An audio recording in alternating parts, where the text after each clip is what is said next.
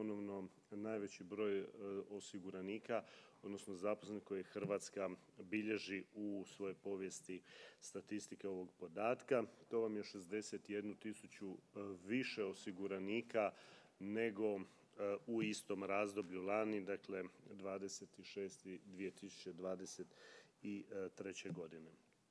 Istodobno dakle rekordno nizak broj nezaposlenih osoba u Hrvatskoj 81.951 registrirani nezaposleni u Hrvatskoj.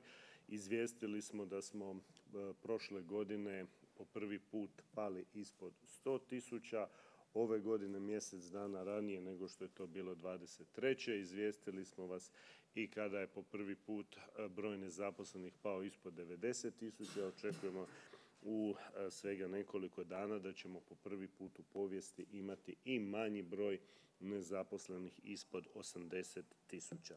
Što se tiče dakle usporedbe u ovome mandatu mogli ste čuti od predsjednika Vlade da je to u dva mandata dakle 300 tisuća osiguranika odnosno zaposlenih više. Ako se sjetimo 2016. tada milijun 440 tisuća je bilo osiguranika, danas dakle 300 tisuća više.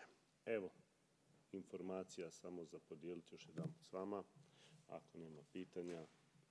Ministre, svakako ovim dobrim brojkama u prilog ide i turistička sezona. Kako stojimo sa sezonskim poslovima? Svake godine se uoči špice sezone postavlja pitanje hoće li to biti prenategnuto, hoćemo li sve stići pokriti, kako stojimo ove godine? Pa dakle što se tiče samog sezonskog rada ja ću reć da smo mi svake godine prije turističku sezonu upravo sa turističkim sektorom razgovarali, pripremali sezonu. Ove godine po pitanju sezonskog rada i što se tiče domaće radne snage i što se tiče strane radne snage nije bilo nikakvih dakle većih poteškoća u osiguranju naravno radne snage. Ono što ću podsjetiti još jedanput i što konstantno ističemo u turističkom sektoru da posljednjim izmjenama Zakona o radu smo omogućili dakle zapošljavanje za stalne sezonske poslove na neodređeno i upravo potičemo naše poslodavce da koriste tu zakonsku mogućnost kako bismo onda već iduće turističke sezone odnosno iduće godine kada predstavimo mjere aktivne politike zapošljavanja pokušali izaći iz mjere stalnih sezona s kojim zapravo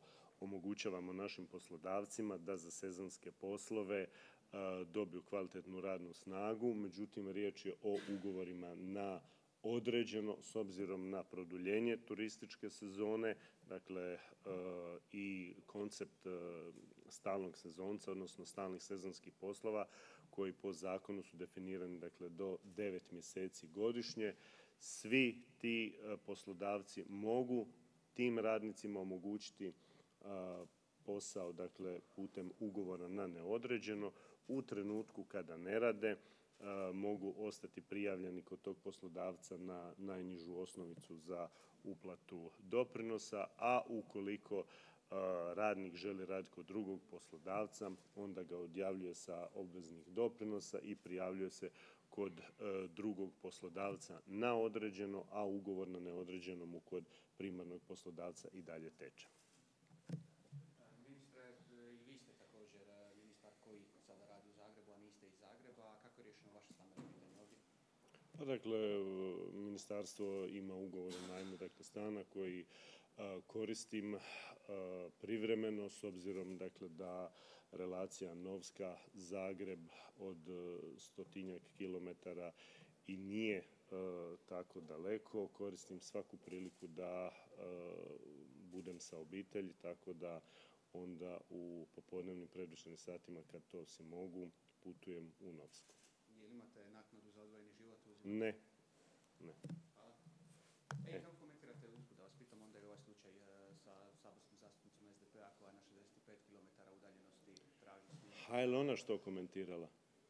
Je, na Facebooku kaže da ima pravo na to. Pa dobro, dakle imam i ja pravo na odvojeni život, naknadu za odvojeni život pa ne koristim s obzirom da zaista koristim svaku priliku da budem sa svojom obitelji kad mi to poslovne prilike dopuste.